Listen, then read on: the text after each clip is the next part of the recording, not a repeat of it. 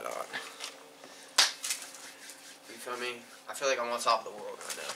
But my fit is pretty swaggy though. I got like this cool, um, you know, cheetah print. It's a cardigan that I actually cut up, and it honestly looks cool. And then I got this super sick fucking tee on. Just a whole, whole situation. Um, I don't even know if you can see my boots. Feel me? But got some Yeezy desert boots on.